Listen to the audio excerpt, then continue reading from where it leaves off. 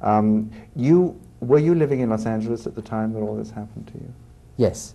Uh-huh. Yes, I've, I've been in Los Angeles for a year, Uh-huh. and I think, and And you think that's where you contracted? I think so. Mhm. I got tested in February of '96 in Bakersfield, and I was negative.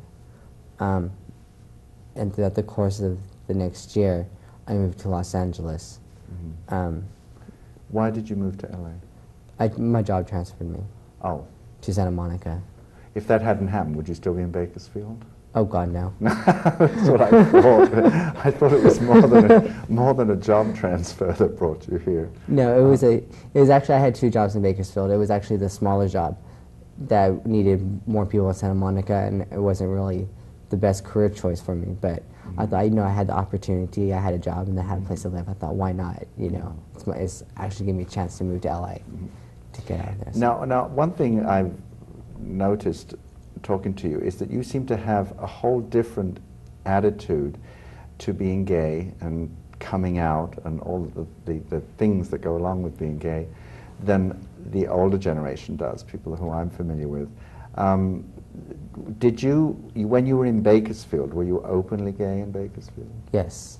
Um, Did you, did you come out? I mean, did you do a I, great I thing? of did. A, g- had a great thing. Um, it was my first year of college at, at Bakersfield College, and um, I didn't think a lot of people, especially in a town like that, when they want they come out, they can become real rebellious in a way, where they Mhm. really want to make a statement. And I became very active in you know the gay organizations and the gay clubs, and, R- right away, did you? Right away, yes. I was I was in theater at the time, and I was doing stage productions, and um, I got involved in the gay and lesbian club that they have on campus there, and I became an, um, what they call an ICC rep for the ASB board. What, explain what those are. That's an inter, inter club council rep. So I would I would talk to other club council members about what our club's doing and the events that we're planning and, and and stuff like that. We would have guest speakers. I would speak on panels in front of classrooms Really? of college students about Oh. my sexual orientation. Really? So- How old were you at that time? I was 19. I was 19, 20. when you when you came out, really. I, I was 19 when I came out, and I was 19, 20 when I was, and 21 when I was doing all this. Uh huh. Why? Why was it so easy for you to do that, or was it easy for you to do that? Because Bakersfield is pretty still. I mean, it's it's almost synonymous with. I hate to use the word redneck, but I mean it really is. Um, even even though it's in California, it's still it's still I think the environment in which I came out in, I had a, I had a group of friends that were real supportive. Um, I came from, I, I moved for a lot throughout the United States. I never lived in one city, so it wasn't as if I was going to lose a lifetime long friends. You know, if I lost a couple of friends I've only known a couple of months, that was okay. Mm-hmm. You know, I graduated from high school in Oregon. So to, to tell someone I was gay and to come out there, if they didn't accept it, then that was fine. I really didn't know them well enough or long enough to care. And the ones who I did know long enough accepted it. And that was the hardest part, I think, was telling some of my best friends. And Yeah. they took it really well, and, and I think that's what really kind of gave me that ammuni- ammunition. Now these were friends in the in the theater thing that, that you were Yes. doing. Oh, so so what what I'm trying to work out is because I can imagine a 19 year old coming out in Bakersfield and getting all kinds of rejection and and real um, uh, you know mud thrown at him, and, uh, figuratively speaking, and so forth. Um, so you were already in a fairly enlightened group there. Yeah, yes, I was. Uh-huh. I, and then I just wrapped myself up as, with as much information as I can, um, especially concerning spirituality, which was a big concern for me, Uh-huh. and, um, and other issues revolving what the controversy of gay was. And I, I learned as much as I could. So when people were asking questions, I almost thought of them as ludicrous in a way, you know. That seems to be your modus operandi, doesn't it? As soon as you're confronting a problem, whether it be how to come out um, painlessly or how to deal with HIV, the first thing you do is get lots and lots of information. Is that right? Yes, yes. That's a, um, the mistake I made when I came out gay, I think, was not telling my mother I was gay right away. I think I waited a year or two before I told her Uh, uh, you, when did you know? that I was gay. Uh-huh. Um, Age three? probably, Really? probably. I think you know when you start developing your your sexual interests and desires. I think you know through puberty Uh-huh. is when I really So you knew recognized it immediately for what it was. for what it was. Yes, Uh-huh. and I of course didn't practice it, and No. I and I preached against it. You know, I used to teach Sunday school and stuff, and Oh, did you really? Yeah, yeah. But but you preached against it. Oh yeah, definitely. It was a sin, you know. So and I, I didn't know better. It was, it was something that I was um, conditioned to believe was was wrong. So what I'm trying to understand is that there was obviously a transition in here somewhere from the Sunday school teacher who was preaching against homosexuality because, because it was a sin, according to the Bible, to this 19 year old who was coming out and speaking about it all over campus and, uh, and not um, really caring uh, for the people who, who rejected him. well, I okay. I graduated from high school when I was 17. I moved to California and I waited a year before I started college. Um, in the course of the year, I think you I kind of maybe experimented some with with guys, you know, and Sexually. sexually, yes, and and I kept you know I kept feeling mm, shame and disgust and Oh, you did? yes a lot, and I Uh-huh. never understood why. And the more I learned, and the more I found out people my age, and that was the most important thing is finding somebody my age who was also gay in Bakersfield. When I found somebody my age, it was easier for me to tap into the community that was you know which is a large community in Bakersfield of young gay people Yeah. and actually see that there's a lot of gay people there and a lot of people just like me and I felt more normal I think once I Yes. realized that it's not you know a selected phenomenon that happens just to occasional people it actually is a wide phenomenon and it's, it's very normal So then, when you were in your innocence um, teaching Sunday school and teaching that homosexuality was wrong, it was, it was what you'd always been told, of course, and taught. Plus, it was a concept that you weren't fully informed about. Yes. You were preaching about homosexuality, the, abs- the abstraction. When you got into it and did it a bit, you know what I mean, you realized that there are lots of people out there that it is. So it is that question of getting informed about it, which you did through sexual experimentation, but still you became much more aware of the gay community there and then much less ashamed of, of your own. Um, the more reading I did the more studying of the actual Bible and learning like the MCC Church here in Los Angeles which is Metropolitan Community Church. Yes. Uh, By, by being more enlightened, I think, in, in the community and understanding that what the Bible really says about homosexuality and how society does change the words of not just the Bible but other literature to fit what they are believing and what yes. they believe. Yeah, they, the old saying is you can get the Bible to prove anything. Yeah, if yeah, you can, you can. And so, so by really digging and learning and becoming absolutely pos- totally aware of what the Bible says, helped me to better combat and feel more secure in my sexuality. But wasn't that hard for you, particularly on the spiritual level? Because here you were teaching Sunday school in the usual kind of mode that, that, that Christians work in, you know, that, that homosexuality is not a good thing.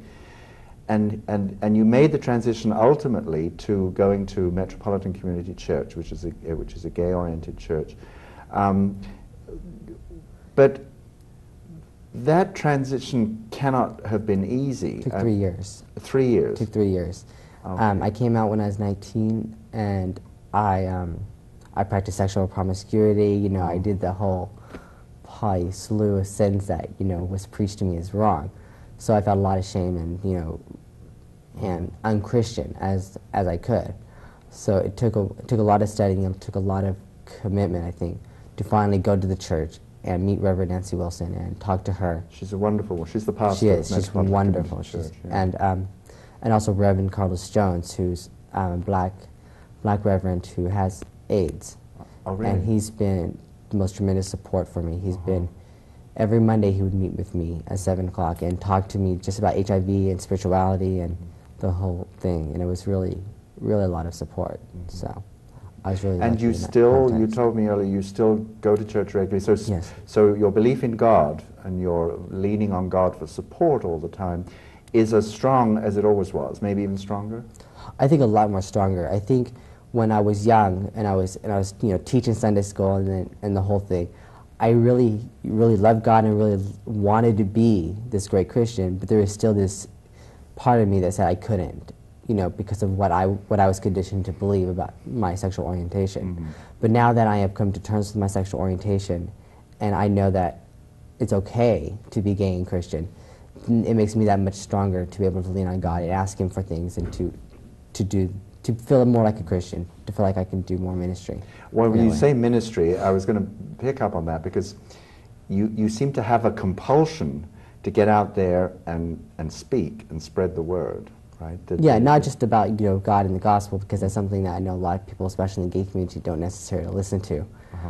Um, but about anything really, about you know the sexual orientation, making young people feel more comfortable with who they are, about HIV and AIDS, making people aware that there's treatment opportunities, making Yeah. sure, especially young people, know that it's no longer such a death sentence as it used to be. Yes.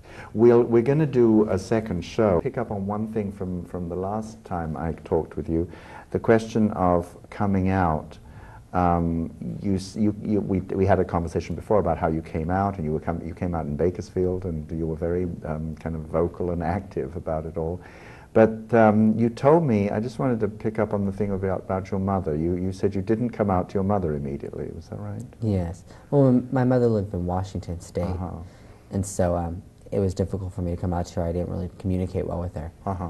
And um, two years later, I finally did tell her Uh-huh. I was I was gay, and she was crying. She was upset, and you know I had to go through this whole explanation of what gay is, and it took her a long time to even accept, you know, boyfriend. You know, I said my boyfriend. She said he has a name. You don't have to say boyfriend. you know, and so that took a, many months to, for her to deal with. Uh-huh. And it was hard for me to deal with it because I've already accepted it. I'm living it. Yeah. It was just lifestyle I was living. living. Didn't have to deal with it again with my mother was a tremendous stress on me. Yeah. So when I came out HIV positive, I decided that you know I don't know very much about HIV. I just know the basic facts about it. I'm going to go ahead and tell my mom right away, and so we both can learn together. And that's what I told her. When I told her, I go, you know, I, I got HIV. I, I got my test results today. I am positive. Um, I'm sending you some information. I told her, so don't worry. Um, I someone told me at the clinic that it's not adjusted, that there's treatments and stuff. So we'll see what happens. At that time, I didn't know anything about protease. No. I didn't know anything about reverse transcriptase or No. anything. And so I was really scared. I was crying. She was crying. you thought it was a death sentence? Yes, I did. I Uh-huh. did. And so did she. And I told her, well, not to worry. And I told her we'll both go this to, together. We'll both learn together.